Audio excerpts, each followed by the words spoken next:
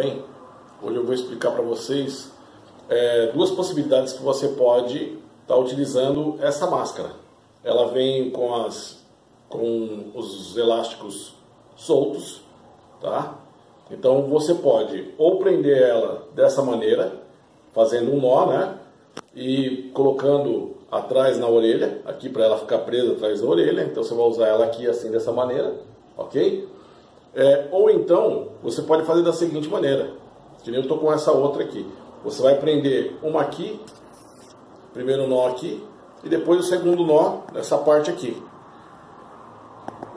Nessa parte aqui. Aí ela vai ficar desse jeito. Ela vai ficar desse jeito. Ó. Ela vai ficar desse jeito. Então, Aí você pode fazer da seguinte maneira para colocar. Você coloca ela aqui, a primeira parte primeiro. Ela vai ficar no pescoço. A segunda parte, ela vai estar aqui, ó. Você vai colocar ela por cima. Você só vai colocar e acerta por cima da cabeça. Ela fica bem certinha. Ó. Ela fica bem certinha.